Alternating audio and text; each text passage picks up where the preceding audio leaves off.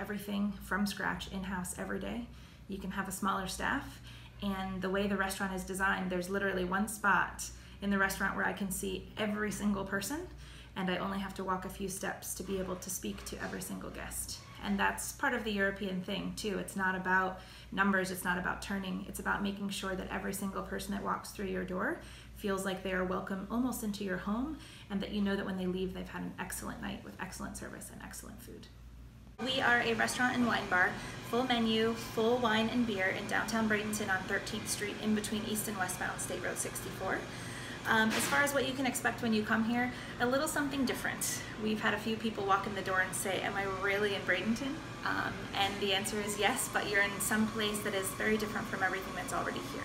We wanted to have an influence from Western Europe, particularly Spain, Italy, France, and Belgium, um, but also a feel of a big city where things are classy and chic and more modern, but also there's a very comfortable and full sense of hospitality when you walk in the door.